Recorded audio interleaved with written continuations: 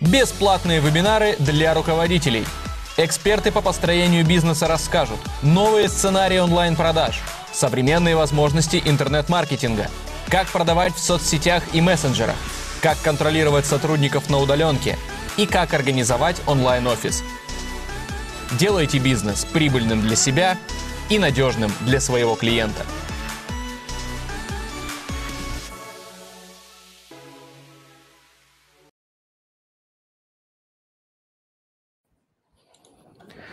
Добрый день, доброе утро, дорогие друзья. Рады вас видеть. Сегодня наш э, вебинар.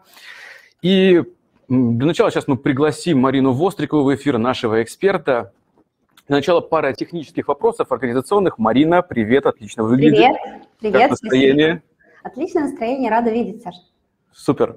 Коллеги, сейчас пара технических вопросов. Э, напишите в чат, видно нас, слышно нас, возможно, у вас есть уже какие-то пожелания, теплые слова, возможно, уже есть вопросы, которые вы хотите задать, чтобы мы озвучили сегодня на эфире, спросили Марину. Э, о чем мы поговорим? Сегодня сервис как стратегия бизнеса. Э, поговорим мы на очень интересную тему. Марина, поправь меня, если я не прав. Но мы поговорим сегодня в первую очередь о внутреннем клиенте, о том, как построить вот эту клиентоориентированность в компании и к чему это в итоге приведет э, у бизнеса. Правильно ли я понимаю? Да, слушай, мы будем сегодня говорить о теме. Видишь суслика, его нету. Вот кажется, что тема вроде как у всех должна быть, но не всегда работает. Поэтому будем и о философских вещах немножко, и очень о практическом. Да, в первую часть Марина вот расскажет как раз вот эту животрепещущую тему, э, и во второй части уже подключусь я, и мы расскажем уже про инструментарий Bittrex24, что там позволит эту самую клиентоориентированность построить, и внутреннюю, и чуть-чуть зацепим, конечно, внешнюю для работы с клиентами. Поэтому вот такие у нас будут две части, будет очень интересно. В любой э, момент можете писать вопросы. Э, у Марины мы обязательно остановимся после вебинара. Там будет целый блок вопросов, когда мы все это озвучим. Что-то, возможно, мы озвучим в эфире, что-то мы э, ответим прямо в чате. Поэтому ни в чем себе не отказывайте, задавайте вопросы. Кроме того, на вебинаре работают наши партнеры, компания «Аник». Поэтому, если у вас есть какие-то вопросы, они тоже подключатся, ответят, и вы обязательно не останетесь без внимания. Что ж, Марина, я тогда предлагаю начинать. Сейчас я вывожу презентацию. Да, давай уже. Будем... Все, теперь я покидаю эфир и полностью отдаю вас в нежные руки. Мысленно с нами, Саша же, да? Конечно, конечно. Хорошо. Еще раз, друзья, всем доброго утра. Рада вас приветствовать. Если кто-то знаком со мной лично, пожалуйста, поставьте какой-то знак в чате, я буду очень рада, это поддерживает всегда в таких эфирах. А если мы еще не знакомы, то я обязательно с вами познакомлюсь, оставлю свои контакты. Если тема затронет, и вы захотите узнавать про нее больше, то, безусловно, так оно и будет. Я пишу блог, э, буду помогать вам разбираться глубже с темой, потому что те, кто интересуется сервисной стратегией, это для меня очень близкие люди, мы единомышленники, давайте вместе двигать, развивать эту тему. И сегодня углубимся именно действительно про внешнего клиента. Мы говорили в прошлый раз, есть запись, в этот раз про внутреннего клиента, и да, запись тоже будет. Давайте начнем.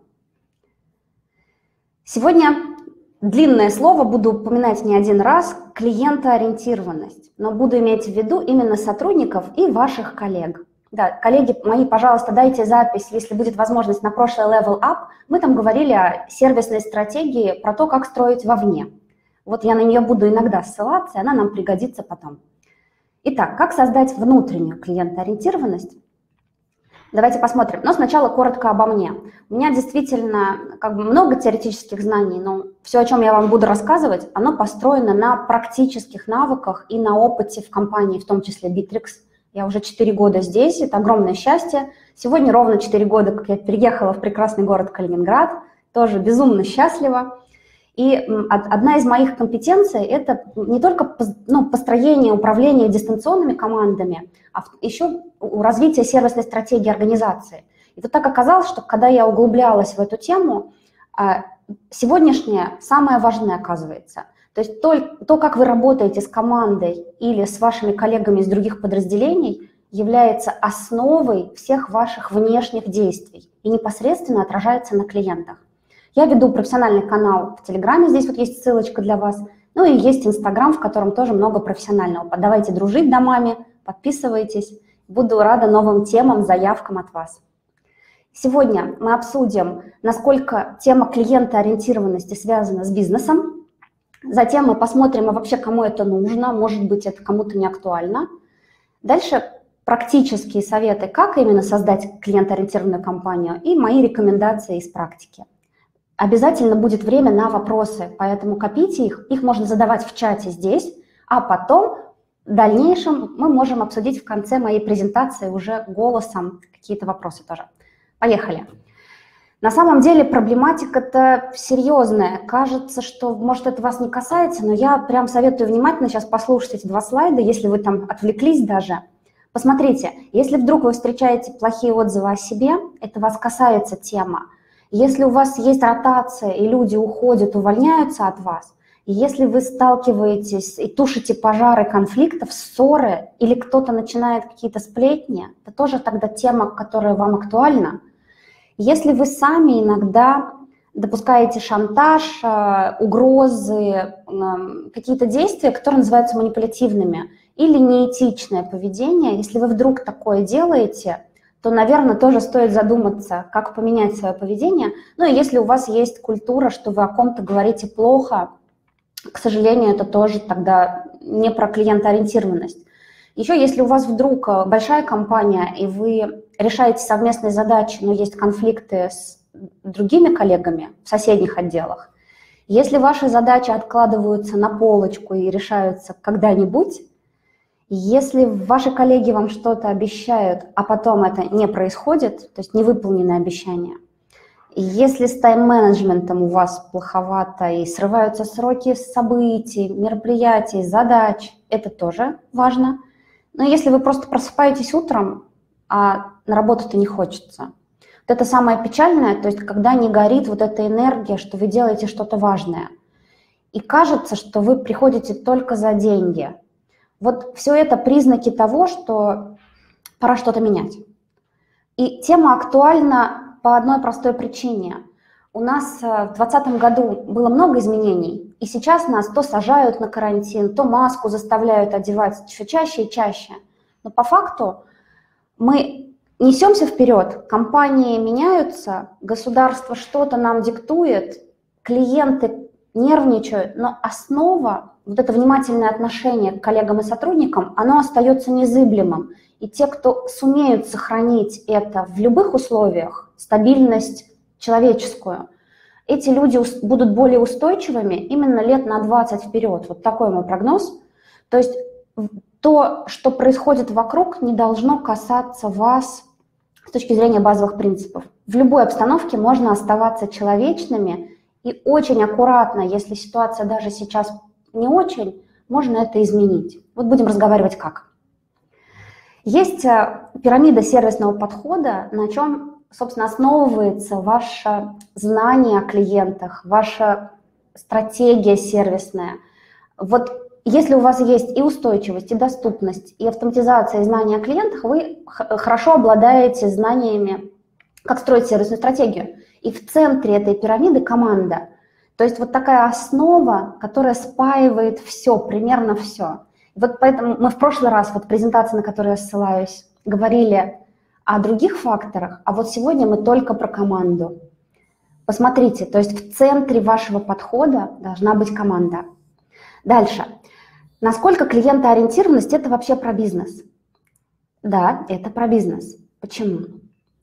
У нас есть а, два аспекта построения сервиса в организации. Снаружи мы занимаемся клиентами, стратегией, пишем какие-то очень важные документы, придумываем план захвата мира. А внутри вот это как раз вы строите процессы, коммуникации, культуру и используете нужные инструменты для управления командой. И вот сегодня про весь левый блок. Давайте посмотрим. Если у вас есть клиентоориентированная культура, то ваши вопросы действительно решаются быстрее. Вам надо прикладывать все меньше и меньше усилий, чтобы, знаете, преодолевать какие-то барьеры. Вот это самый, наверное, главный плюс. Вам начинают помогать совершенно неожиданно и с разных сторон те люди, которые никогда не включались раньше. Или ваши сотрудники делают что-то сверх того, что вы им поручили, просто потому что им хочется. С хорошей обстановкой действительно требуется меньше усилий. И ваша команда – это то, что не украсть. Вот можно говорить о том, что у вас хантят людей, забирают соседи, э, более продвинутые компании, но если сплоченная именно команда, то, поверьте, всю команду уводят реже. Более того, если команда привержена вам как лидеру, как руководителю, они еще сто раз подумают, чтобы уйти от такого невероятного лидера. Ну и у вас меньше каких-то операционных провалов будет. Ну а вследствие всего того, что вы будете строить, у вас будут и платящие клиенты, и рост удовлетворенности, и много всего того, что я написала на слайде. То есть вы будете видеть результат для бизнеса. Давайте тогда проверим факты.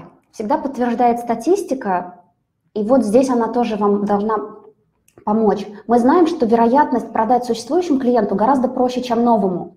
Но по моим наблюдениям, новый, пришедший в компанию человек, существующему клиенту, который с вами все время продает хуже, его клиент еще не знает, его надо еще познакомить с клиентом.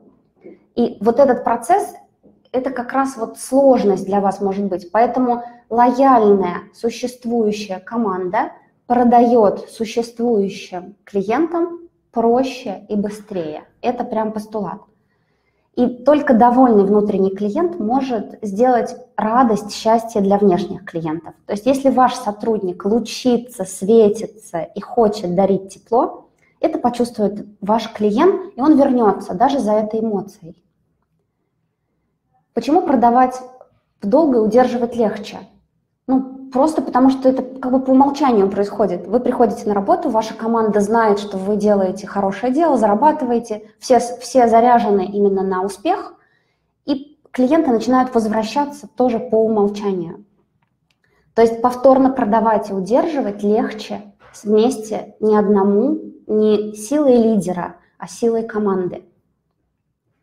Лояльные сотрудники больше заботятся о вас, том числе и о вашей компании, о вашем отделе, если вы линейный руководитель. И они реже увольняются. Есть свыше 100 факторов, как замотивировать сотрудника без денег, то есть чтобы он не только за деньги ходил на работу. Но по факту, действительно, если подумать, мы ценим совсем не только деньги. Нам важно, как к нам относятся, нам важно, насколько мы растем внутри, нам важны просто банально человеческие отношения. И вот это все можно строить. Каким компаниям нужна клиентоориентированность? Этот вопрос тоже очень вечный и актуальный. На самом деле всем, всем компаниям нужна клиентоориентированность, но иногда есть точка зрения, что очень быстро растущим стартапам она не нужна. То есть тем, кто несется вперед, завоевать мир и не сильно думает о людях. Друзья, мне кажется, что даже таким стартапам это очень важно, Поэтому я здесь написала вот тезис всем. Может быть, у вас есть другое мнение, вы найдете какие-то исключения там, каким-то госучреждениям, налоговой не нужна клиентоориентированность. Но я сейчас немножечко шучу, всем нужна, да? Только закрывшимся компаниям, наверное, она не пригодится. Как создать клиентоориентированную компанию? Вот это философский вопрос. На самом деле это не создается за один день. То есть те процессы, которые мы можем строить, они будут работать там через несколько лет в итоге. Они дадут вам результат какой-то там через несколько месяцев, но основу вы создаете на годы вперед. Но я буду говорить о том, что все равно это все реально, чтобы вы не расстроились. Есть шесть столпов по Гартнеру, столпов доверия, из чего складываются вот эти основы. В первую очередь важно, чтобы вы были честны с командой, чтобы вы соблюдали этические нормы, чтобы вы были открыты, ответственные, компетентные и последовательные. Вот эти все блоки, э, их можно расшифровывать. Последовательность, например, это а, системное выполнение обещаний. Вот эти все блоки важны как никогда вместе. То есть нельзя взять один, вытащить его из этой пирамиды доверия, и тогда все заработает. Обратите внимание, у вас, как у лидера и у вашей команды, должно быть все вот это вместе. Другой вопрос, что заниматься – можно постепенно. Сначала проверить, как у вас с честностью перед клиентом, насколько часто вы позволяете себе обманывать или лукавить, насколько у вас с этичностью, насколько вы открыты в своих коммуникациях и ответственны и так далее. То есть строить можно последовательно, но важны абсолютно все. Есть мифы, это вот так говорят руководители или сотрудники, когда не хотят заниматься нашей с вами темой, то есть когда не хотят строить команду. Говорят, например, что если заниматься людьми, строить сотрудников по принципу хорошего отношения и доброго, то кажется, что вы будете безвольными и вас посчитают тряпкой, например. Я вот слышала такое мнение, да вы что, я потеряю авторитет управленческий. Или это не даст результат, то есть я пока буду делами заниматься, а не вот этой вашей ерундой. То есть это воспринимается тема, что трата времени. Почему? Потому что люди не видят немедленный результат. Э, не всем дано, нельзя этому научиться. Это считается каким-то неотъемлемым прирожденным качеством. Вот младенец родился на свет и уже умеет команду строить. На самом деле этому можно и нужно учиться, как никогда, наверное. Еще есть э, такое перекладывание ответственности, что этим должен заниматься другой отдел. Например, те, кто там про людей, это же HR у нас или там HR-специалист, от меня это вообще не зависит, меня не касается. Каждый сотрудник в коллективе ответственен за внутренние отношения с другими. Поэтому переложить эту функцию ну, никак нельзя, особенно если вы руководитель. Сотрудники и коллеги – это такие винтики, они для целей, поэтому нечего с ними там возиться. Это эффективнее к ним относиться как к роботам, к инструментам, тоже такой миф интересный. Это, знаете, происходит, когда в компаниях меняются часто состав людей, когда люди массово нанимаются и потом их увольняют. Вот в этом случае такой подход имеет место быть. И кажется, что тут иногда, знаете, про разочарование руководителя, который понял, что что-то в людях его надломило, и он больше не хочет верить. Он больше не хочет верить в то, что можно создать команду другого типа. И он кажется, что сменой людей решает все вопросы разом. Приходят новые, они никого не знают, и ну, так сработает. Но при этом э, есть последствия у этого подхода, э, требует много усилий на то, чтобы пересобрать такую команду и они потом а, также легко относятся и к вам как к лидеру, и также относятся и к работе, никогда не упомянут эту работу как что-то, что в них было хорошее в жизни. Есть еще отличный миф, мне он близок, когда говорят, что клиентоориентированная команда – это как семья. Вы себе когда-нибудь представляли семью из 20 человек? Нет, ну, наверное, очень бывают такие исключения, но по факту, когда компания больше трех, четырех, пяти человек, это уже не про семью, друзья, это про бизнес. Когда мы говорим как семья, мы подразумеваем совместные поездки за город, а, время провождения 24 на 7 и много там того, что тянет семья как модель. К клиентоориентированной команде нельзя относиться как к семье. Это разное, давайте всегда помнить, что у нас есть бизнес и есть бизнес-цели. И ну еще есть мнение, что штрафы работают и наказания лучше всего на свете. Да, это так. Однократно работают, и люди действительно боятся. Это, страх – это сильный мотиватор сделать что-то одноразово, быстро и из нежелания. Поэтому э, здесь в этом мифе подвох в слове «эффективнее» штрафы и наказания неэффективнее, а быстрее и действеннее в моменте. Но это не то, что строит у вас команду. Поставьте, пожалуйста, какие-то знаки, плюсики, например, или напишите словами, если вы все-таки узнали, что у вас какой-то из мифов такой существует в голове, это действительно мне будет важно, значит, ну, вам это близко. Вижу плюсики, было когда-то, вы пишете – Хорошо, значит, если было и прошло, это вообще я вас поздравляю. А если вы себя сейчас узнали, это значит, вот само присутствие здесь, на этом вебинаре, для вас, я, я думаю, это точка роста. Потому что про эти мифы нужно на самом деле подумать глубже, почему они у вас возникли и как с этим жить дальше. Итак, от, от, на самом деле я хочу сказать вам здесь и сейчас, что именно от вас зависит, что эти, этих мифов больше не будет в вашей организации. И какую бы позицию вы ни занимали, или подчиненного, или руководителя, неважно, на самом деле именно от вас все зависит. Если вы вдруг оказались в культуре такого, знаете, болотца, а вокруг все квакают. Ну тогда что вы там делаете? Может быть, время сменить все окружение, то есть сменить компанию. А в остальных случаях, если кто-то вам ну, с вами не ладит, или вы чувствуете, что у вас до этого как-то все не происходило хорошо вдруг, то самое время поменяться. Надо понимать, что когда вы общаетесь с любыми коллегами, даже с самыми, казалось бы, вредными, они не хотят вам вредить намеренно. Очень редко, когда человек осознанно идет на работу, чтобы портить другим жизнь. Скорее всего, корневая причина, почему у вас происходит что-то неприятное, в чем-то в другом и вы имеете дело только с последствиями. Поэтому я советую посмотреть внимательно, постараться понять того человека, с которым у вас не ладится, или с целой командой, посмотреть на поведение, найти корневую причину и поработать с ней. Иногда требуется коуч, иногда требуется психолог, чтобы разобраться действительно глубоко. Но это возможно. Главное помнить, что люди не хотят осознанно причинять вам вред. Еще раз, чего бы у вас ни происходило на работе.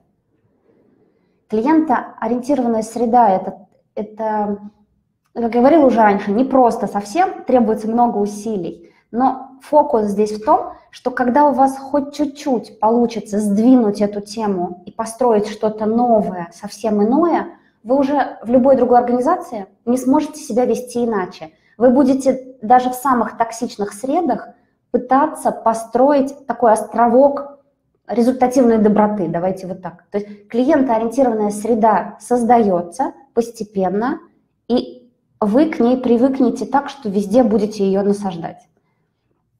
Основа клиентоориентированности, с чего она состоит внутренне вот этот, это культура безопасности, когда люди могут общаться и обсуждать любые вопросы и проблемы открыто и не чувствовать, что их за это накажут.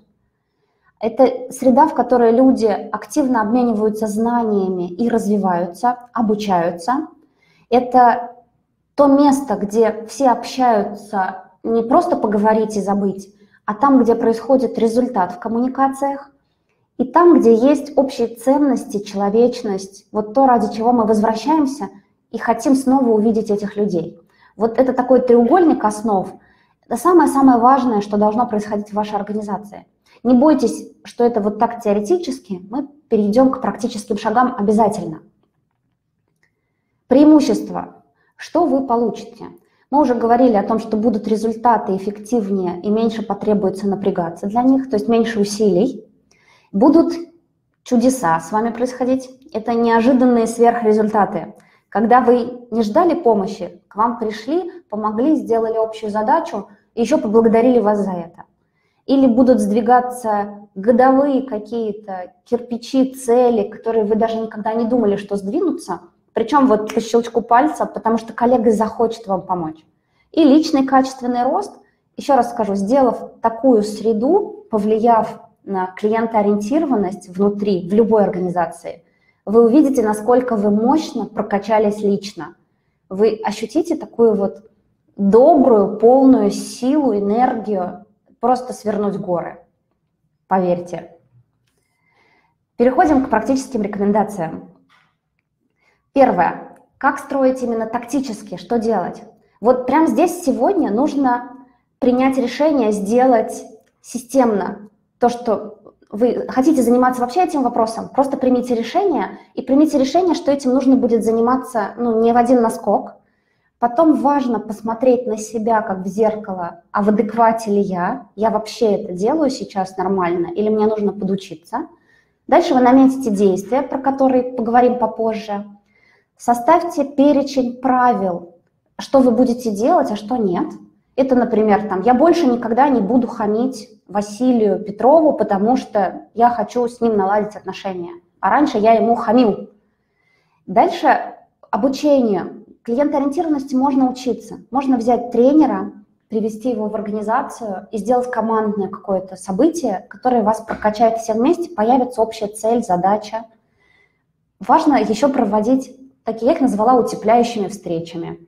Это когда вы приносите э, кофе или пиццу, садитесь с коллегами из другого подразделения или с вашими подчиненными и общаетесь на конкретную тему. Э, знаете, желая получить настоящий, конкретный, очень простой результат. То есть за непринужденной обстановкой люди начинают больше открываться, начинают вам доверять. Если это делать один раз, то не сработает. Они сначала будут подозревать, что вы что-то задумали и что-то от них хотите. Если вы это сделаете просто хорошей традицией, то на эту встречу будут приносить важные вещи. Ну и попросите обратную связь от ваших коллег, просто спросите, как им с вами работается. Они откроют вам много интересного. Честно сказать, это упражнение обычно делают с опаской, а, потому что думают, что услышат много гадостей. Так и есть, вы услышите гадости. Это ну, неизбежно. Если вы до этого делали гадости, то вы их услышите. А иногда вы услышите очень удивительные вещи, про которые даже не думали, потому что могут коллеги ваши быть совершенно тактичны, беречь вас на самом деле, хотя казались там какими-то буками, да. Но поговорите с ними и спросите, все ли их устраивает, как сейчас у вас дела. Итак, давайте посмотрим на простые сервисные шаги. Как можно сделать клиентоориентированность постепенно и последовательно? Первое. Считать, что вы хотите сделать клиентку счастливым, это можно ну, банально какую-нибудь шоколадку принести, попить вместе чай, кофе. Это вот очень простые методы, иногда просто улыбнуться. И кажется, что что-то начнет меняться просто потому, что до этого вы всегда смотрели на него сурово в коридоре. Или вы заметили, что у коллеги что-то не так, вы спросите, чем помочь, а он скажет, точно, меня вот тут стол один не могу подвинуть, пойдем, двинем. И этот сдвинутый стол сдвинет между вами какой-то пласт, который до этого был препятствием для общения. Очень важно оперативно, четко общаться, подсказывать, помогать решать проблемы, снижать число конфликтов. Если вы даже конфликтуете, вы тот человек, который может это прекратить. То есть ваша ответственность в том, чтобы перестать конфликтовать, а находить конструктив. Спрашивать обратную связь, смотреть на процессы и на себя самого глазами других – и самое главное, узнавать про ваших сотрудников больше чего-то, что вы раньше не замечали. Пришел человек и рассказал, что он дом строит, вы про это завтра забыли. А если его спросить через два дня, а как там твоя крыша, как там твой дом, просто поинтересоваться, как дела. И человек просто всплыхнет от, от радости, что вы про него подумали и знаете о нем больше, чем обычно, шире, чем рабочие задачи. То есть просто слушайте, что вам говорят, и интересуйтесь искренне вашим коллективом, вашими коллегами. Теперь последовательно по блокам. Что такое оперативная коммуникация? Как вообще ее организовать? Первое, если к вам приходит какое-то задание или задача от коллег, то называйте срок, когда вы ее сделаете, или называйте прогнозный срок, сдвигайте его по согласованию, но обязательно говорите когда. Давайте на запрос оперативный ответ, то есть не ждите сутками, не, не замалчивайте. Коллега ждет от вас реакции. Это может быть короткое, два-три слова, но это будет ответ. И если вы вдруг не знаете, как решить, то это не просто ответ «нет, я не могу», а подсказываете, куда стоит еще пойти этому коллеге и кто, возможно, может помочь. Вы таким образом цепочку коммуникации ему не прервете, подскажете очень важную информацию, где он может решить вопрос. То есть оперативные коммуникации – это один из пунктов, без которого просто никуда. Дальше важно быть вежливыми и этичными, и это поддается тоже тренировке, этому можно научиться. То есть не обязательно всегда улыбаться.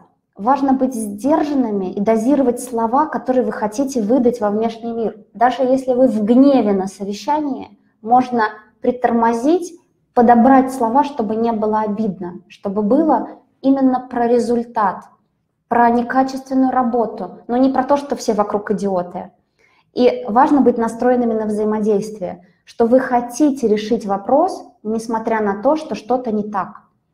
И важно еще, это вот самое сложное, что дается руководителям, это когда кто-то другой не очень себя ведет, вот прям грязные какие-то штуки происходят с вами, вы всегда можете держать лицо. И в состоянии равновесия общаться с этим человеком, и тогда он выглядит по сравнению с вами не очень. Он себе позволяет то, что не должны позволять люди на работе. А вы из нейтральной ситуации равновесия, такой, знаете, дзен-буддизм такой, мне все нормально, я человек. Вот если вы так себя ведете в конфликте, то второй человек будет подрастать до вашего уровня. На это могут уйти годы. Но действительно я встречала ситуации, когда от травли люди вдруг переходили к сотрудничеству, потому что это становилось выгодно им, и они видели ваш пример как кардинально другой в коммуникациях, чем они встречали раньше.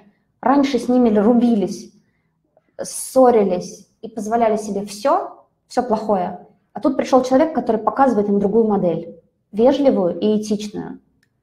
Наорать можно, это не, ну, не, я тоже кричу, ну, можно кричать без задевания личности другого человека, можно кричать про работу. Ну и всегда соблюдайте, как это вот, ну, улыбка на самом деле, улыбка, радость. Если вы счастливы, то дарите это вокруг, и даже если вокруг люди, которые угнетены, вы просто будьте таким солнышком, или хотя бы, вот, чтобы вас не посчитали там таким благожелательным идиотом, иногда я такое встречаю, что он там вообще все время смеется, о чем, как можно быть счастливым 24 часа в сутки, то хотя бы просто ровным, приветливым, нейтральным, чтобы сильно не раздражать окружающих, там, снести градус радости.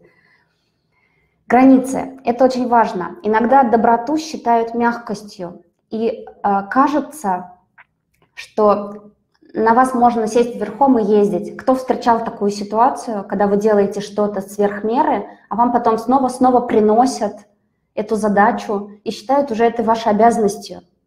Это значит, ваша доброта, она, ее посчитали за мягкотелость и не оценили. Это, друзья, тоже нормально. И вот здесь э, важно помнить, что доброта – это в том числе про результативность. Вы себе действительно помогаете, если в определенный момент защищаете свои границы говорите, нет, я один раз помог добровольно, но это не моя работа, прости. Я очень хочу тебе помогать. И в следующий раз, если у меня будет время, я помогу. Но я сейчас должен делать свои задачи. Еще, если ваши границы перешли, не старайтесь сразу обрубить крылья тем, кто залетел на вашу территорию. Старайтесь быть настроенными на сотрудничество, и сказать, в следующий раз приходи, поговорим. Сегодня просто нет времени. Но есть люди, с которыми вы в единой связке настолько, что даже обсуждать не надо. У вас общие цели делаются телепатически, потому что вы на одной волне. Вы в таком в сотрудничестве в плотном на общий результат. Вот для таких людей делать что-то сверх вашей роли всегда приятно, и делайте это, не прекращайте потому что таких людей, союзников в организации бывает мало, хотя у меня их много в организации. Но это самый кайф работать с такими людьми, поэтому для них сверх роли всегда приятно что-то сделать, в любой момент приду на помощь. Ответственность. Что такое ответственность? Это когда вы говорите, да, я ошибся, здесь так вышло, и это моя ответственность, я виноват, и важно сделать из этого вывод и откорректировать. Если все идет вообще не так, знаете, бывает какой-то кавардак, как это, горящий велосипед несется, вы должны на него впрыгнуть, остановить поезд на скаку, там вот это все. Вот когда в организации такое вдруг происходит, включаетесь с трезвым, холодным умом и сердцем, предлагаете помощь и помогаете наладить. То есть вот это лидерское качество включиться и помочь хладнокровно, когда все паникуют, это умение взять ответственность в том числе. Ну и открыто говорить о рисках, о том, что будет происходить, если мы это сделаем или не сделаем. Предлагайте решение. Вот такой проактивный подход – это тоже про пример сервисного лидера, за которым в том числе потянутся коллеги. Артефакты – это то, что остается после вас. Это тоже способ наладить отношения с коллегами. Мы часто совещаемся, знаете, встречаемся, много разговариваем, и ничего потом не происходит. Вот подумайте, что важно в вашей совместной работе, какую ценность, пользу принести, как приумножить, и тогда ваши коллеги будут вас, вас ценить больше, а вы получать ну, лучшие результаты на самом деле. Поэтому что важно делать? Фиксировать договоренности, формировать полезные документы и записывать все решения, к которым вы пришли, если вы не пришли к решению, то возвращаться к этой теме, собирать снова людей и добиваться решений совместных. Пускай оно будет не идеальным, но компромиссным. После вас должны оставаться ценные следы и результаты. Ну и если у вас был успешный или неуспешный опыт, разделите его с коллегами, расскажите о нем. Пусть этим коллегам будет легче потом. Вы-то уже это попробовали, шишки набили. Рассказывайте о том, что вы делали и как. Обратная связь. Это сложно. Хочется сказать иногда всем, что они вот такие сякие, сказать неприятными словами, а нельзя, друзья. Очень важно говорить э, конструктивную обратную связь. Это по делу, бережно к коллеге и только про факты. И будьте готовы слышать такую же обратную связь в свой адрес. Нельзя замалчивать о промахах. То есть нужно говорить, если что-то пошло не так, потому что мы в бизнесе, нам важны результаты. И нужно признавать в том, что у вас есть и у ваших коллег право на ошибку. Особенно, когда учатся молодые руководители, поверьте, мы, ну, те, кто знает, те, кто прошел, помнят это. Право на ошибку должно быть, чтобы хотелось попробовать снова и снова. Вот подумайте, насколько часто вы даете это право другим. Себе еще проще как-то. Ну да, я могу ошибиться. А у других тоже оно есть, это право. Ну и не ищите виноватых, вот этот там Василий пресловутый, он вот такой секой, он вообще все его только, даже давайте обвиним, нашли крайнего и забыли. Нет, друзья, очень важно найти решение, подстраховать вот того крайнего, сказать, что у тебя есть право на ошибку, да, такая ерунда случилась, но давай подумаем, как сделать так, чтобы она больше не происходила. Ошибаться могут все. И есть исследования, а, про пять самых важных практик, как управлять командой, чтобы возникла эта клиентоориентированность. Это высоко ценить внутренних клиентов, то есть ваших коллег, сотрудников, развивать гибкость организации. Это про то, чтобы меняться, корректироваться, когда вы делаете выводы, в том числе на основе ошибок. Создавать корпоративную культуру внимания. Это про то, как вы относитесь к людям внутри компании – отражать клиентоориентированность в целях компании, то есть написать прям принцип, если вы руководитель, что нам важна команда, сплоченная команда, мы внимательны к людям, мы не допускаем к ним какого-то некорректного поведения. Мы всегда держим марку. Ну и использовать информацию о сотрудниках для помощи, чтобы им помогать, развивать, обучать. То есть не собирать такое досье, знаете, вот как иногда интерпретируют этот пункт, а разговаривать с людьми, слушать их, слышать и дальше, чтобы они вместе с вами из этой ситуации росли. Особенно это хорошо с подчиненными работает. Люди, которые выросли вместе с вами, они помнят, какой вклад вы привнесли в это развитие. Есть полезные инструменты, и Саша Рабинок сегодня будет рассказывать вам детальнее, что можно делать. Ну вот мы в Bittrex 24 это делаем. А, чтобы укрепить все то, что я рассказывала, и теоретическое, и практическое, мы, например, в базу знаний э, складываем полезные, полезную информацию, в том числе, как беречь клиентов. То есть целый блок про клиентоориентированность. Мы рассказываем, как работать внутри с сотрудниками, как адаптировать новичков, как помогать друг другу. Мы используем чаты для быстрых коммуникаций, чтобы как раз давать оперативные ответы. У нас этот инструмент чат – мы публикуем новости, чтобы держать команду в курсе событий. Мы делаем такое пиар посты, то есть сообщения в живой ленте в нашей, чтобы рассказать в виде благодарности или в виде поста результата о том, что с нами было и как мы этого добились. То есть важные итоги. Мы делаем встречи команд, мы работаем дистанционно, и через видеоконференции и звонки, в том числе как инструмент, мы общаемся друг с другом, чтобы сплотиться. Мы ведем реестр изменений, пишем туда, что нам нужно сделать и когда. Это у нас сделано там на как минимум двух вариантах. На новых смарт-процессах у нас вышел такой инструмент или на задачах в виде там красивых карточек Kanban, да. Мы используем различные анкеты и формы обратной связи, опросы. И все это бывает анонимно, бывает не анонимно. Но мы постоянно собираем с людей, с наших сотрудников, информацию, каково им, понравилось или не понравилось, что меняем, что интерпретируем по-другому. Вот это все инструменты. Еще раз скажу, следующий блок будет про них подробно. Здесь я только вот небольшие подсказочки для вас подготовила, как именно в моей работе я использую Bittrex 24. Здесь дальше вам бонус. Всем участникам, которые сегодня меня слушают или смотрят в записи, я подобрала список книг, которые вам могут помочь. И вот, пожалуйста, э, здесь достаточно такой большой список, у вас будет запись, будет презентация, поэтому просто посмотрите два слайда. Это вам такой подарок от меня, чтобы вы, даже если прочтете хотя бы одну книгу, вам это должно помочь я уверена, вдохновить, вот строить все то, что, о чем мы сегодня говорим. Ну и я хочу вас убедить, что все в ваших силах, вы реально все сможете поменять. Главное, то, что все, все возможно. Давайте в это поверим. Я точно верю в вас. Если вдруг будет не получаться, пишите мне. Я, бывает, выступаю таким мотиватором, помочь, подсказать, а что делать в конкретной ситуации. Так что обращайтесь, буду помогать. Еще раз, мой профессиональный канал в Телеграме, здесь ссылочка, здесь э, ссылка на Инстаграм. Подписывайтесь, задавайте вопросы в Директ, если что, и будем вместе строить клиентоориентированные команды, компании. В наших силах все. Благодарю вас за внимание, давайте ответим на вопросы. Марина, привет еще раз. Привет.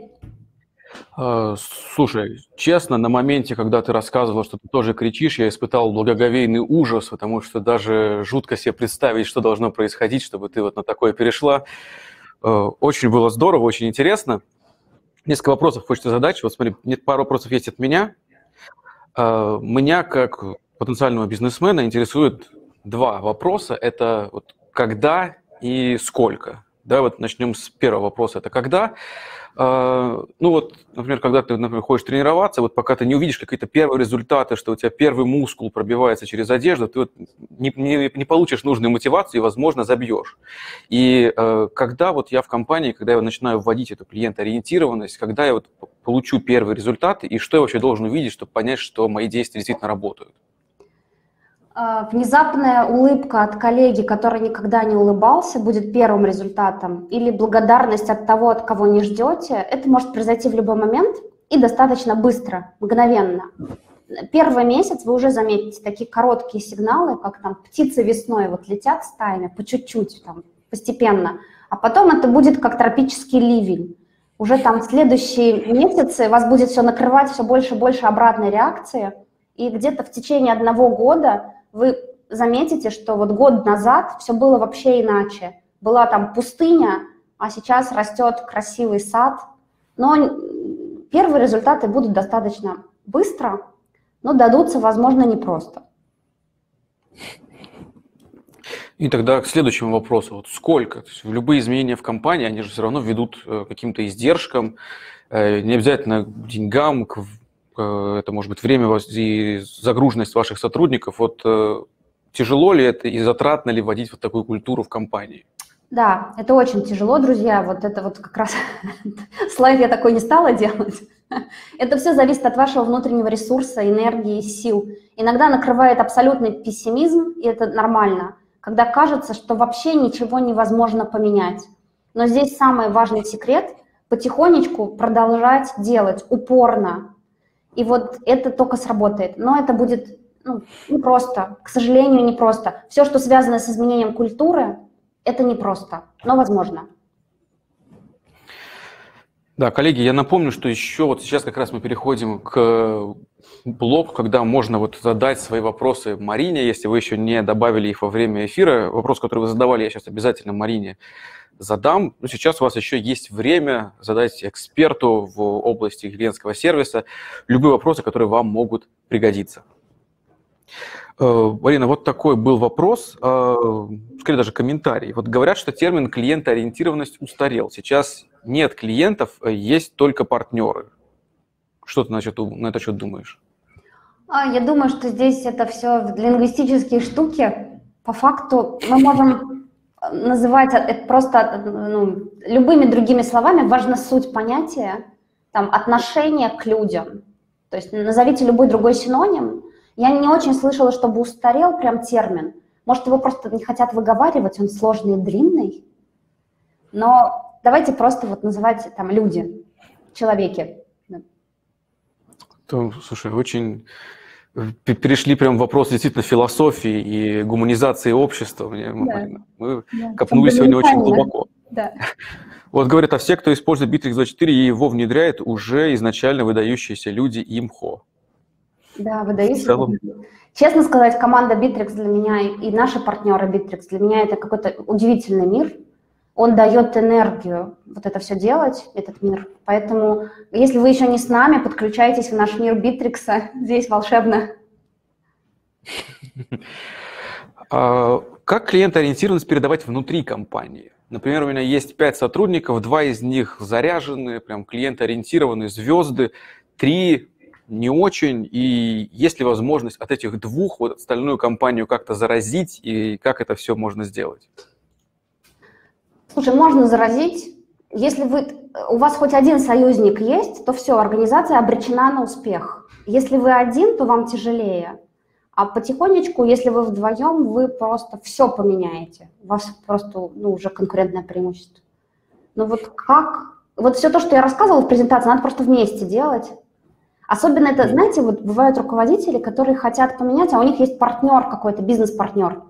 Вот если вы вдвоем это делаете, или с каким-то коллегой из соседнего подразделения также разделяете эти ценности, то там вот самая магия происходит. Договоритесь вот с этими союзниками, и у вас результат еще больше ускорится.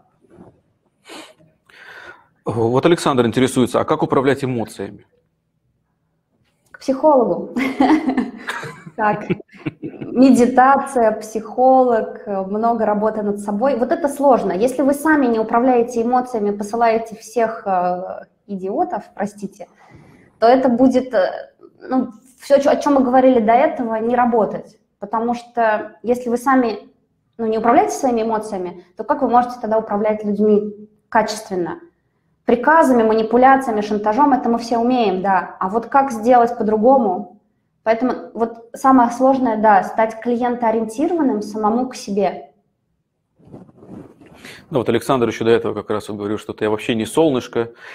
Ты посмотрел какую-то часть твоего выступления и вот для себя это осознал. Ну, кстати, да, очень хороший совет, что это надо, вот, тут надо работать над собой. Да. Эмоции – это то, над чем можно поработать.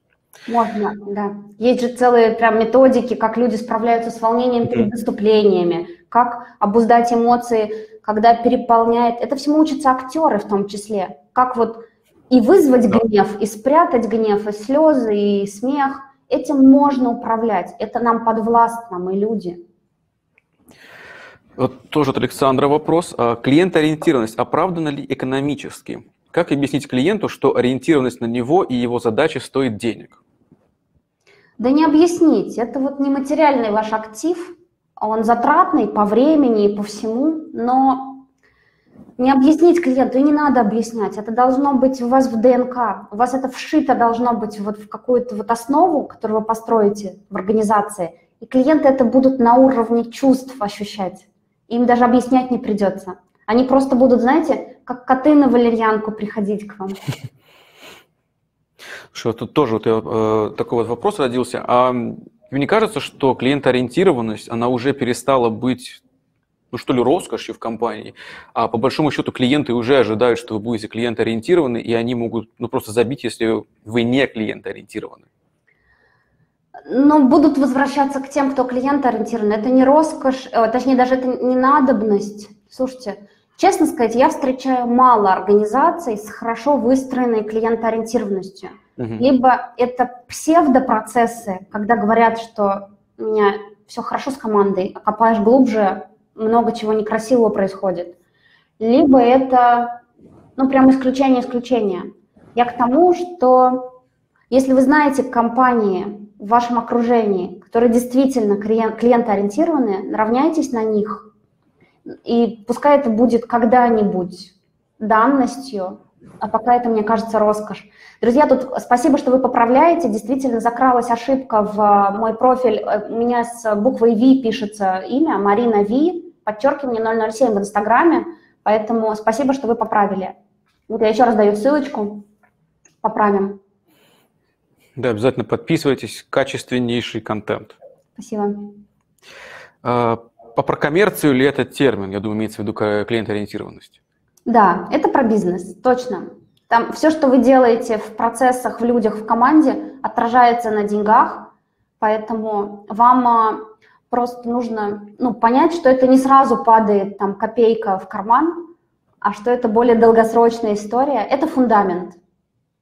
Угу. Похоже на внедрение автоматизации, кстати, в компании, потому что на, в быстром как-то времени вы ничего не почувствуете. Скорее всего, даже будут потери на, на длинной дистанции. Э, выигрыш будет вполне очевиден. Да вы без этого просто не сможете на длинной дистанции. Просто вот все. А как, как мы жили до этого? Вот такое будет. А почему нет? Почему не раньше? Да-да-да. А возможно ли клиентоориентированность в маленьких компаниях? Например, 3-5 человек? Да, это будет вам преимуществом, потому что когда вы будете расти в более такую большую компанию, то вам уже будет легче. Вот эти все люди, 3-5 человек, станут вашими союзниками и будут помогать вам растить сразу клиентоориентированную компанию. Так легче. Ломать старое тяжелее. Угу. Вот такой вот прям вопрос, чувствуется боль от нашего зрителя. А, смотри, клиентский терроризм. Во-первых, мне сразу понравился этот термин. А, вот публичные жалобы, манипуляции, наглое хамское поведение вот э, клиентам, имею в виду. Очень подкашивает дух команды и процессы. Что с этим делать в глобальном смысле и компаниям, и сотрудникам? Есть, наверное, около 15 стратегий, как можно себя вести в зависимости от типа террориста Этому можно научиться почитать. Мне кажется, это отдельная тоже тема. В основном она касается там либо больших компаний, либо тех, на, на кого там какие-то конкуренты натравливают угу. кого-нибудь. Но вот все 15 стратегий не готовы перечислить. Э, действительно, надо смотреть по ситуации. Сходу совет не дам, потому что очень разные бывают террористы. Бывают серийные, бывают действительно там хейтеры, бывают, ну, много, тема сложная, но надо понимать, что в любом случае у вас есть, как у организации, выбор не работать с такими клиентами, если они к вам пришли в организацию. Это первое. То есть выбирать, с кем вы хотите работать. Не забирать энергию сотрудников, не работать с хамами, отказывать. А если хам пошел вовне, ну его просто мама не воспитала, то там просто есть несколько там, стратегий реакции вас как компании. Но ваш выбор не работать с такими. Пускай он переучится. Он может, ну, есть много прекрасных клиентов, которые воспитаны, с ними можно работать. И это намного дешевле получается для компании. Да, и не так отнимает силы. Э, и вопрос от Олега. Э, когда вы приходите в компанию, как вы на конкретных примерах понимаете, что компания клиентоориентирована? Знаете, это хороший вопрос. Когда я пришла в Bittrex, там в один из дней мне нужен был ноутбук. Люблю этот пример приводить. И мне на, на ноутбуке э, системные администраторы не просто там сложили сверху зарядку или мышку положили, и все. Они мне там написали записку, они мне настроили сразу пароль, подсказали, как правильно. Они мне установили нужные приложения и какое-то приветствие написали. Это было так тепло и мило. И вот от того, как вас встречают от лифта как, где вам показывают, какая чашка стоит, как вам быстро отвечают на вопросы, да просто как вам улыбаются. Это уже становится ясно, какие люди и как они к вам относятся. То есть попав однажды в клиентоориентированную команду, где вам не чинят препятствия, а помогают на каждом шагу, вы уже будете отличать другие токсичные среды сразу и думать, хм, это не мое. Да, вот смотри, кстати, вот вопрос и твой ответ в первую очередь про клиентский терроризм и вот это хамство, он вызвал большой отзыв в чате. Возможно, кстати, это может стать темой твоего следующего выступления, как вот работать с тяжелыми клиентами. И, кстати, с тяжелыми сотрудниками, я думаю, это тоже довольно интересная тема, потому что вот такие вот террористы, они и внутри коллектива появляются довольно часто. Вы знаете, это тоже способ защитить вашу команду. Ваша клиентоориентированность по отношению к команде – это защищать их в том числе. Когда вы говорите вашей команде, что я не позволяю с вами общаться так, и у нас есть нормы компании, это тоже ваша политика. Поэтому если к вам приходят хамы, вы можете попросить хама выйти и не оказывать ему услугу. Потому что а, это ваш выбор, у нас э, в чатах поддержки принято правило, что если клиент матерится, мы отказываем ему в сервисе даже в положенной ему поддержке, потому что это превышение норм этики. У нас плакали девушки-сотрудницы, когда получали там ведро помоев от человека, который пришел ну, по IT-вопросу. И у нас принята норма защищать сотрудников. Мы отказываем. Есть люди, у нас есть серийные, ну, реально обзывальщики, которым нравится сидеть и весь день слать мат в чат.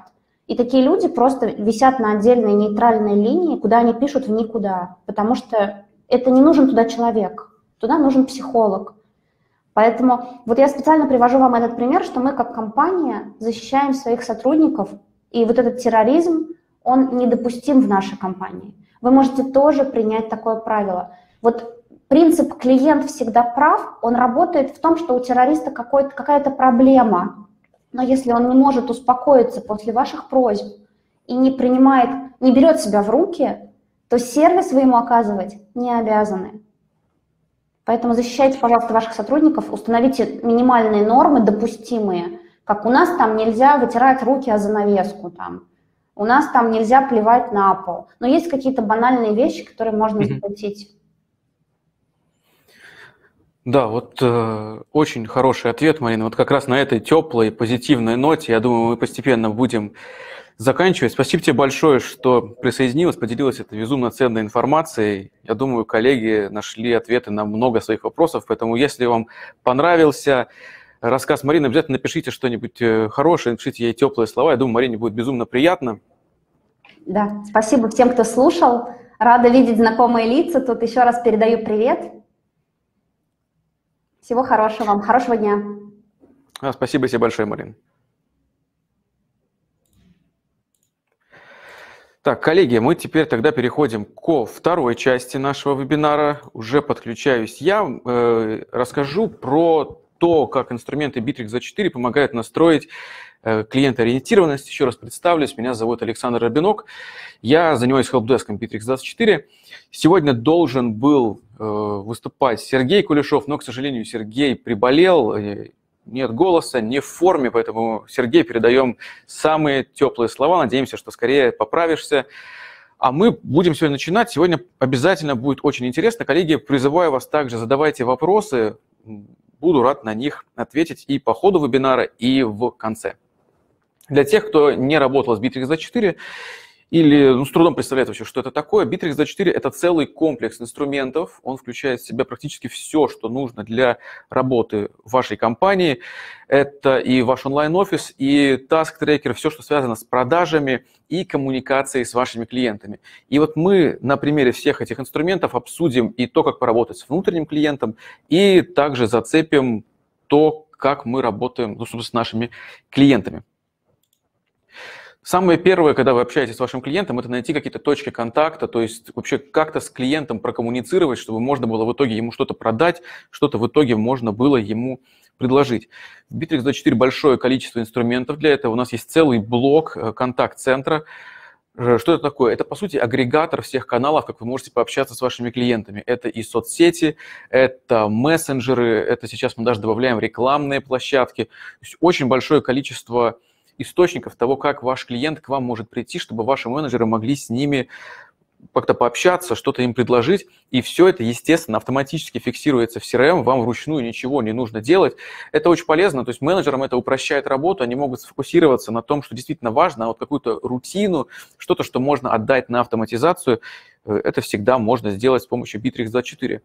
В контакт-центре есть большое количество инструментов. Это не только, вот, что я сказал, агрегатор рекламных каналов. Он позволяет вам сразу настроить и телефонию. Телефон – это все еще популярный ну, возможно, даже такой обязательный инструмент для работы бизнеса, ну, это мы тоже чуть-чуть затронем.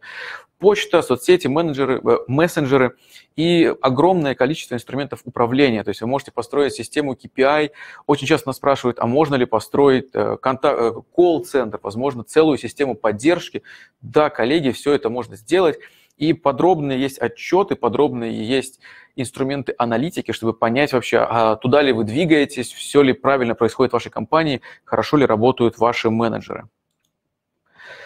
Очень важный инструмент – это маршрутизация входящих обращений. То есть, когда мы говорим про телефонию, мы к этому уже постепенно привыкли, как звонки распределяются в многих компаниях.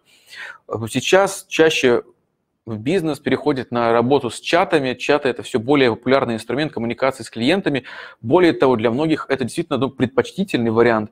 И я прекрасно знаю многие компании и клиентов даже, для которых неприемлемо, что ли, звонить по телефону, они считают это каким-то в, что ли, внедрением в личное пространство человека. Поэтому вы можете настроить сразу несколько инструментов для того, чтобы распределить обращения ваших клиентов и настроить эту систему поддержки внутри компании. Кроме того, есть автоответчики, есть быстрые ответы, про них я тоже расскажу э, буквально чуть-чуть через пару мгновений. И все это настроено для того, чтобы ваши менеджеры занимались только тем, что им нужно, не тратили время на какие-то сложные, какие-то маленькие операции, они в итоге отнимают очень много времени. Вот Та же самая э, система быстрых ответов. Вы можете какие-то типовые ответы всегда э, создать из них список какой-то, и чтобы ваши менеджеры могли брать вот готовый ответ, который вы часто используете, отправлять его сразу клиенту, не вбивать это руками лично, лишний раз. И порой это, кстати, могут быть целые большие варианты ответов, и вот там уже, я думаю, сразу, сразу понимаете, что это отнимает очень много времени.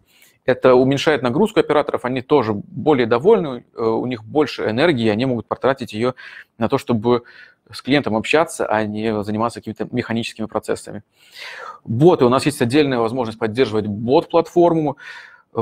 Есть отдельная документация, отдельные целые курсы про то, как работать с бот-платформой на Bittrex24. И вот один из популярных ботов, который у нас вот сразу встроен в открытой линии, это бот-платформа для отправки гифок. То есть она берет гифку, забавную картинку из гифи и отправляет ее вашему клиенту. Конечно, не для всех э, внешних клиентов это может быть уместно, ну, учитывайте тон of voice, который вы используете в вашей компании, возможно, где-то действительно зайдет, и э, ваши клиенты будут только рады вот получить такую картинку. Но, кстати, когда мы говорим про внутреннего клиента, это действительно здорово заходит, потому что внутри компании ну, мы все находимся в более-менее таких приятельских отношениях, и вот разбавить текст, разбавить какой-то такой рабочий вопрос, э, забавная гифка, это всегда здорово, это улучшает взаимодействие внутри команды, как-то сплочает. Вот Марина не зря говорила про сплоченность команды и вот работу с внутренним клиентом. Это вот такой маленький инструмент, но в итоге он чуть-чуть да, дает нам в этом направлении. Это было, что касается общения с внешними клиентами, инструмента контакт-центра. Сами видите, это очень большой блок, который позволяет настроить все коммуникации с клиентом, практически которые возможны. Сайты. Сайты – это еще один большой блок, как к вам могут прийти клиенты. Без сайта современный бизнес сейчас уже представить себе тяжело. Bittrex24 сайты – это это полноценный инструмент, полноценный конструктор сайтов. Мы говорим именно про конструктор сайтов, потому что никакого кодинга там не требуется, вам не требуется искать разработчика, нанимать программиста, чтобы вам написать сайт. Вы все можете делать самостоятельно. Кроме того, сайты уже адаптированы для мобильных устройств, э, они уже адаптированы для поисковиков. Вам не надо переживать за хостинг, то есть сайт будет храниться на наших серверах – Э, и, естественно, обращения ваших клиентов с вашего сайта, они также автоматически попадают в CRM. Мы говорим про очень простой конструктор. У нас уже есть большое количество готовых блоков на сайте. Мы это количество постоянно расширяем, постоянно добавляем. Это как э, тематические сайты для праздников, там 8 марта, 23 февраля и что-то подобное, э, так и целые блоки э, сайтов для конкретного бизнеса. Вы можете, если ваш э, бизнес напрямую попал в тот шаблон, который представлен, можете спокойно ставить себе сайт, чуть-чуть подправить какие-то элементы и добавить вот свои фотогалереи, видео, добавить свои CRM-формы, чтобы клиенты могли к вам обратиться. И, по сути, ваш сайт уже готов, можете его публиковать, и ваши клиенты уже могут к вам прийти. Большое количество шаблонов, как я уже сказал. Э, можно настраивать свою цветовую палитру, чтобы как раз все было в ваших корпоративных цветах и полностью подходило под все ваши требования. Виджет на сайт. Что это такое? Э, я думаю, вы часто видели в правом, чаще всего в правом нижнем углу, вот как у нас на скриншоте, есть вот такая вот кнопочка, где вы можете написать в чат, написать в соцсети, как-то связаться с э, менеджерами, связаться с э, консультантами, чтобы вам что-то подсказали, что-то выяснить. По сути, это основной из каналов, как к вам будут приходить клиенты через сайт – и уже практически трудно представить себе сайт без такого виджета. И мне, кстати, часто бывает довольно приятно видеть, когда наш виджет на каком-то сайте находится, вот, узнаю, и это очень здорово. Можете добавлять туда абсолютно разные каналы, то есть не только чат с вашим консультантом, можете добавить вашу не знаю, группу в Вайбере, в Телеграме, э, ВКонтакте. Можно просто э, заказать, кстати, обратный звонок, чтобы ваш клиент оставляет номер телефона, а вы потом ему перезваниваете. Виджет позволяет вам как раз настроить коммуникацию с вашими клиентами с помощью вашего сайта. Еще раз подводя итог, вот Bittrex24 сайт – это уже готовый инструмент для того, чтобы вы создавали свои сайты, делали это просто, без нервов, и все, что должен в себя включать современный сайт, это и коммуникации с клиентами, подготовку для поисковиков, естественно, адаптированность под мобильное устройство, все это у нас есть. Это очень упрощает работу вам как целой компании. Вы не тратите время на какие-то сложные процессы, потому что создавать сайт на Bittrex 4 действительно довольно просто, и вы не можете, эм, вам не нужно переживать за это. Персданные, да, вот этот вопрос нужно подчеркнуть отдельно, потому что по законодательству, когда вот мы общаемся с нашими клиентами, получаем их контактные данные, мы обязаны э, соблюдать закон, что мы получили согласие от клиента на сбор его персональных данных. Конечно же, в Bittrex24 это предусмотрено, и вам не нужно переживать за то, что к вам кто-то придет с какой-то проверкой. Далее про то, как сохранить клиента, поработать с клиентской базой. Э, естественно, любые контакты с вашими клиентами нужно фиксировать, сохранять, потому что все это пополняет вашу базу, и вы потом можете далее работать с вашими клиентами. Как вот верно сказала Марина, продать вашему существующему клиенту, кому-то, кто уже вас что-то покупал, значительно дешевле. И что вам надо зафиксировать, что вам важно, это основной канал связи, то есть как вы с клиентом общаетесь. Естественно, если вам клиент пишет в группу ВК, например, то он ожидает получить ответ также в группу ВК. Если он вам пишет на почту, то и вы должны отвечать ему на почту. Далее указываете в карточке вашего клиента определенные признаки и свойства, которые могут повлиять на то, как вы с ним общаетесь.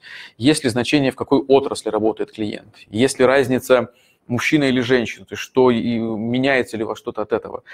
Э, абсолютно разные могут быть признаки, и все они важны для каждого конкретного бизнеса что для вас имеет значение, вы всегда можете добавить это в карточку клиента.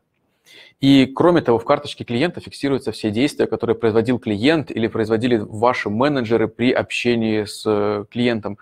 это и тексты сообщений, они фиксируются в карточке, э, записи звонков, любые общения, то есть когда вы, например, планировали какие-то встречи, как прошли встречи, что мы еще планируем, это все в карточке клиента. И это тоже вот очень хорошо влияет на клиентоориентированность. Например, когда вы звоните в какую-то компанию и беру трубку, например, я звоню куда-то, я беру трубку, там уже «Здравствуйте, Александр». Я понимаю, что меня узнали, я понимаю, что я что-то значу для этой компании. Это влияет на мою лояльность к бренду, и, возможно, вот эта вот теплота, с которой меня встречают, и что меня узнали, она повлияет на мое решение, куплю ли я что-то еще. Да, вот то, что мы говорим про работу с текущей базой, работа с текущей базой – это всегда очень важно. Почему?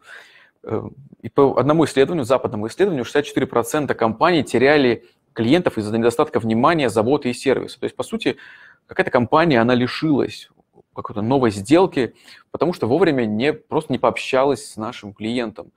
И все, клиент ушел. Чтобы вы понимали порядок, э, по-моему, 15% всего клиентов из этого по этому же исследованию уходят, потому что их не устраивает цена. Естественно, это вот внимание к вашим клиентам и их, вот то, что мы говорим сегодня про клиентоориентированность, это очень важный момент, про который нужно говорить. И CRM-маркетинг – это как раз инструмент того, как мы работаем с нашей текущей базой. По сути, такой э, инструмент рассылок по сегментам клиентов. Что такое сегмент клиентов? Это, по сути, какая-то группа из всей нашей клиентской базы, для которых мы делаем рассылку и делаем какое-то предложение. Они разбивается по признакам, то есть, опять-таки, э, где живет человек, может, там, опять-таки, мужчина, женщина, что мы уже делали. Возможно, мы делаем рассылку по тем клиентам, которые у нас уже что-то покупали. Возможно, к тем, кто э, вообще постоянно у нас что-то делает, кто-то, кто пришел, но ничего не купил. И, естественно, мы делаем рассылку по тем каналам, когда к нам, откуда к нам клиент приходит. Тоже если он написал нам смс или позвонил с телефона, естественно, что мы будем писать ему по э, тому каналу, который он к нам обратился. Поэтому сегментируйте аудиторию внутри э, вашей CRM. Сегменты бывают динамические, сегменты бывают статические. Динамика, статика, тут, в принципе, все понятно. Динамика что-то, что никогда не меняется, статика что-то, что меняется постоянно. Ну, например, э, динамический сегмент – это ну, опять-таки, мужчины и женщины. Ну, всякое может, конечно, случиться, но практически этот параметр меняется довольно редко. Статические сегменты – это что-то, что при каждой рассылке мы высчитываем заново, и что-то, что будет постоянно меняться. Например, клиенты, которые купили у нас месяц назад. Естественно, с каждым днем этот месяц пересчитывается, и мы каждый раз будем получать разные сегменты клиентов, на кого мы будем это отправлять. Кроме того, есть уже в Bittrex 4 подготовленные сегменты, которые вы можете сразу использовать, чтобы делать рассылки вашим клиентам. Каналы коммуникации, какие поддерживаются каналы коммуникации, их довольно много для рассылок, и классические e-mail рассылки, возможно делать смс рассылки и даже делать голосовой обзвон, тоже в некоторых сферах бизнеса это заходит, э, чтобы позвонили и прям голосом вам сделали какое-то предложение, которое, от которого невозможно отказаться. Все это можно настроить. Также есть возможность запустить рекламу в Facebook Instagram – кстати, вот буквально недавно мы обновили еще и этот инструмент. Теперь создавать рекламу еще проще. От вас требуется еще меньше действий. Можете прямо из Bittrex 4 создать готовую рекламную кампанию в том сервисе, который вам нужен, и сразу же ее и запустить. Роботы и триггеры – это инструмент автоматизации, еще один из инструментов, как можно разгрузить ваших менеджеров, оставить им время и силы заниматься нужными делами, это, по сути, инструмент того, что мы автоматизируем практически любые процессы в компании. Триггер – это что-то, что э, запускает вот робота, какое-то действие вашего клиента, а робот – это что происходит, когда э, ну, сделка переходит, например, на какую-то стадию. То есть клиент, например, нам прислал письмо, и сразу же мы направляем эту сделку на менеджера, который работает с письмами. Может, там уже какая-то измененная сумма сделки. Мы направляем нашего VIP-менеджера, видим, что сумма очень большая. Поэтому роботы и триггеры – это очень такой мощный инструмент, как можно автоматизировать вашу компанию, чтобы менеджеры э, не ошибались. То есть э, человеческий фактор при работе со сделками всегда нужно понимать, что он будет, и чтобы не упустить какие-то действия, чтобы все произошло автоматически, это и быстрее, и меньше возможность ошибок, мы всегда рекомендуем настраивать роботы и триггеры. Это очень удобно. Есть большое количество сценариев того, как это можно, э, что можно настроить. Это и планирование следующей продажи, постановки задач, э, ожидание рекламной, ожидание реакции клиента. Это только вот те примеры, это часть примеров того, что можно автоматизировать. На самом деле их, ну, наверное, бесконечное множество, и все можно организовать. Э, по поводу работы с внутренним клиентом, это уже мы говорим не про дистанционную, а гибридную работу, потому что сейчас компании переходят в такой смешанный режим, когда нужно поддерживать оба режима работы. И в Bittrex за 4 есть большое количество инструментов того, как можно, по сути, организовать ваш онлайн-офис, чтобы тот привычный офис, когда мы приходим, можем потрогать кого-то из наших клиентов, э, наших коллег, кому-то крикнуть, что-то посоветовать. Сейчас э, по понятным причинам э, гибридная работа становится все популярнее, и инструменты Bittrex за 4 помогают все это организовать. Очень популярный инструмент, структура компании.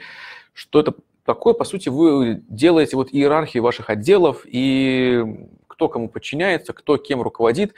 Особенно, когда мы говорим про удаленную работу, возможно, вообще всех своих сотрудников вы в лицо не знаете и не знаете, как работает ваша компания. Инструмент поможет как раз все это организовать. К тому же он очень важен и для других инструментов Bittrex24. Например, руководители могут видеть э, задачи, отчеты своих подчиненных. Поэтому очень важно этот инструмент настроить. Профиль сотрудника, очень здоровская тема, позволяет тоже вашим коллегам узнавать друг друга. И вот есть э, в профиле отдельный блок, это благодарности. Это такой вариант как бы, мотивации, но как бы, нематериальный. Э, это всегда публичная какая-то благодарность, она мотивирует сотрудника, греет душу, а кроме того, в Bittrex за 4 эти вот публичные благодарности, они накапливаются в профиле сотрудника, он может их постоянно видеть, и это такой вот долгосрочный вклад в то, что ваш, ваш сотрудник будет в хорошем настроении. Ну и к тому же это тоже позволяет вашим сотрудникам друг друга узнать. Чат, естественно, без чата мы сейчас никуда. Чат позволяет общаться внутри компании как э, людям отдельно друг с другом, так и в целом можно организовывать групповые чаты, чаты компании вообще всей, и там друг с другом общаться. Живая лента уже, она называется у нас лента э, новостей. Это такой, по сути, вариант блога компании, вариант того, как можно обсуждать вопросы в компании. Она экономит ваше время, потому что вы сразу добавляете нужных сотрудников, нужных получателей, они видят нужное сообщение. Прямо там, после получения, они могут обмениваться информацией. Эту информацию они э, там хранят, и в дальнейшем к ней можно обязательно вернуться. То это очень популярный инструмент общения внутри компании, он ускоряет коммуникации в разы. Видеосообщение тоже очень популярный инструмент для, наверное, руководителей в первую очередь. Можно отправить видеосообщение вашим сотрудникам, они его увидят, вы можете им э, что-то передать, какую-то эмоцию. Знаем также примеры, что многие сотрудники, точнее, многие руководители предпочитают вот так вот использовать видеосообщение, потому что хотят передать эмоцию или передать какое-то ну, что, я знаю даже примеры, когда людям просто лень. Им лень ставить задачу, они такие, я запишу видеообращение, всем, кому надо, покажу, они всю информацию э, знают. И вот в живой ленте вы можете это э, сохранить и потом вашим сотрудникам показать. Календари – понятный вполне инструмент, то есть внутри Bittrex24 вы можете планировать работу э, вашей компании, планировать все события, которые возможны. Здесь, я думаю, останавливаться подробно не будем. Поговорим немного про эффективность команды, как настроить инструменты, чтобы ваши сотрудники просто эффективнее работали. Есть у нас полноценный э, такой task-трекер, даже он значительно шире, чем task-трекер, это наш э, блок задачи и проекты. По сути, наверное, каждая компания на этапе своей работы с Bittrex24 с задачами работает. Для большинства компаний это чуть ли не основной инструмент – и начиная работу с битвы за 4, после организации этого онлайн-офиса, очень часто люди переходят к работе с задачами. Мы поддерживаем все популярные методики работы, это и Kanban, мой план, диаграмму Ганта. Эм, вы можете для себя подобрать, какая методология вам подходит больше, подходит для вашей сферы бизнеса, и ее использовать в работе с задачами для выполнения любых необходимых задач. Эффективность – вот очень интересный такой инструмент позволяет смотреть, как сотрудники выполняют задачу, насколько вовремя они ее делают. То есть если эффект, э, у нас эффективность изначально 100%, кто-то не успел, она падает, эффективность у нас понижается, и вы как руководитель можете смотреть, а кто вообще вовремя укладывается с выполнением своих задач. Знаем, что такое можно использовать, например, для построения KPI в компании, ну и просто, чтобы отслеживать тех сотрудников, которые, ну, возможно, вообще саботируют работу, или находить, наоборот, звезд, кто всегда идеально со всем справляется. Кроме того, для руководителя видно сразу эффективность всех их сотрудников, а каждый вот сотрудник сам может зайти на свою страницу личной эффективности, посмотреть вообще, как он вывозит, не вывозит, все ли у него там хорошо. Рабочие отчеты, конечно же, мы поддерживаем. Вариант тоже повышения трудовой дисциплины, когда ваши сотрудники, например, в конце недели пишут свой отчет, что сделано за эту неделю. Э, также есть вариант написать и план на следующую неделю, то есть что вообще запланировано на следующую неделю. И вы так как руководитель можете потом приходить, смотреть, сравнивать, что ты там, дорогой, пообещал вот это сделать, а ты вот это не сделал. Давай-ка обсудим, может что-то не получилось, может вообще не в человеке проблема. И вариант использования работных отчетов – это вы можете как руководитель держать руку на пульсе и смотреть вообще, что происходит в вашей компании, особенно когда мы говорим про удаленную работу, и сейчас не все трудно контролировать сотрудника, который сейчас не с вами рядом сидит, и вы на самом деле не видите вообще, чем он занимается. Важный инструмент для автоматизации работы – это бизнес-процессы. В каждой компании есть свои рутинные процессы, которые выполняются, наверное, постоянно. Это, например, нужно взять больничный, там, уйти в отпуск, подписать какие-то документы. И чтобы вам не нужно было ходить, вот, постоянно искать какого-то сотрудника, мы автоматизировали этот инструмент, чтобы вы запускаете один раз бизнес-процесс, и в дальнейшем э, он сам движется, сам подключает нужных сотрудников, и автоматизировать можно ну, практически любые процессы компании да, наверное, вообще любые процессы компании, чтобы потом э, вот работа упрощалась. Это опять-таки очень клиентоориентировано, когда мы говорим про внутреннего клиента, потому что очень ну, раздражает, это очень тяжело вот так вот ходить, искать нужных сотрудников, отнимает много сил, много энергии. И вот такой вот вариант автоматизации, когда вы просто через пару кликов вы берете отпуск или подписываете там какой-то документ, это очень удобно. Управление знаниями, опять-таки, вот э, Марина затрагивала эту тему, то есть как вообще хранить знания внутри компании, передавать опыт. Один из самых э, таких популярных инструментов – это база знаний Э, база знаний – это, по сути, такой внутренний сайт вашей компании, где вы храните какие-то знания. База знаний часто бывает э, для целой компании, чтобы передать какую-то информацию вообще для всех, возможно, для новичков, что вообще как мы работаем, э, любые важные документы, которые нужно принести. Часто бывает база знаний профессиональные, когда чуть ли не в каждом отделе у них есть база знаний, когда они рассказывают друг другу, а как мы работаем. Это все очень ускоряет процесс и адаптации новичков, действительно передачи данных. И когда, например, у вас уходит опытный сотрудник, то вы можете ну, попросить его передать какую-то информацию, сохранить ее в базе знаний, чтобы опыт из компании не уходил, и вы всегда могли продолжать с ним работать.